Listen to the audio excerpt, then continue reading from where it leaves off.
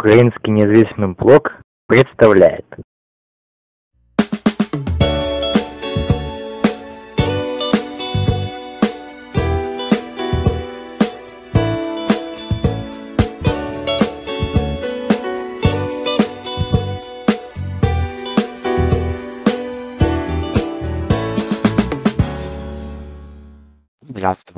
В эфире канала УНБ 12 выпуск третьего сезона презентации закона и права. Тема презентации нового рассмотрения дела о банкротстве, кредитных и залоговых споров. Вперед! Информационное письмо Высшего хозяйственного суда номер 0106-1941-2012 от 27 декабря 2012 года посвящено закону о внесении изменений в некоторые законодательные акты Украины относительно исполнения хозяйственных обязательств. ВХСУ. Напомнил хозяйственным судам о нововведениях в некоторых правовых источниках регулирования хозяйственной деятельности, осуществленных указанным законом сферами, затронувшими указанный закон. Далее, закон номер 5456 и письмо были правоотношения по договорам кредита и залога, а также отдельные вопросы, связанные с банкротством. Прежде всего, статья 86 Хозяйственного процессуального кодекса была дополнена положением, указывающим отдельные основания для наложения, снятия, ареста на имущество в делах относительно признания кредитного договора и слэш и договора залога недействительным. Су своей формулировкой определений может выноситься на ясность позиции законодателя по этому поводу, поскольку формулировка в новой части третьего статьи 86 КПК не гарантировала отсутствие спора о том, является вынесение таких определений обязанностью суда или только его правом. ВХС упомянула новой статье 1057.1 Гражданского кодекса, определяющей правовые последствия недействительности кредитного договора. При разъяснении порядка правоприменения в таких случаях в письме резюмировано, что хозяйственный суд обязан решать вопрос относительно наложения ареста на имущество в случаях, предусмотренных частями 2 и 5 указанной статьи МК. В этой связи вполне логичным напоминанием ВХСУ было то, что действие закона номер 5456 распространяется на кредитные договоры и договоры залога, заключенные после вступления им в силу уделит внимание закону о восстановлении платежеспособности должника или признании его банкротом. Далее,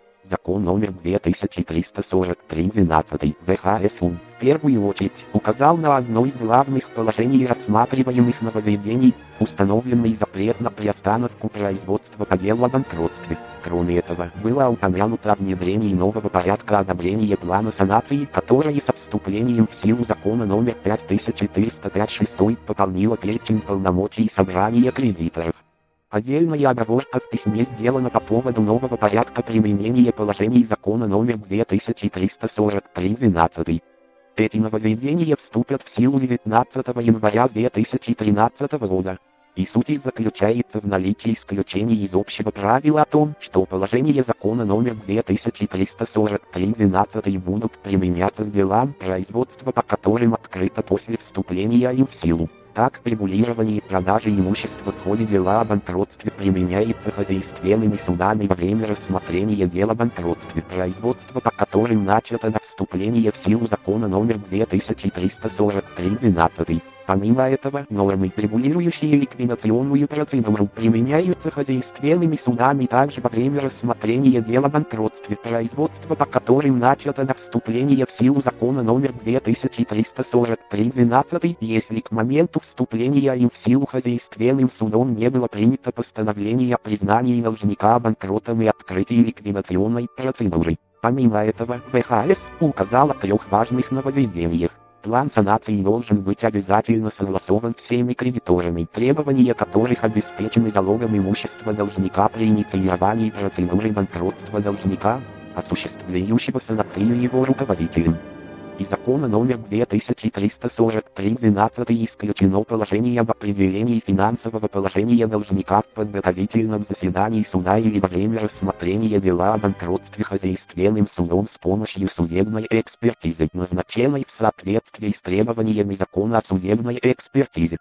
Из закона номер 2343 12 исключено также положение о решении судом вопроса относительно целесообразности утверждения плана санации или мирового соглашения в случае, если обеспеченные кредиторы согласовали план санации или не одобрили мировое соглашение и комитет кредиторов не принял ни одного из предложенных законом номер 2343 12 решений.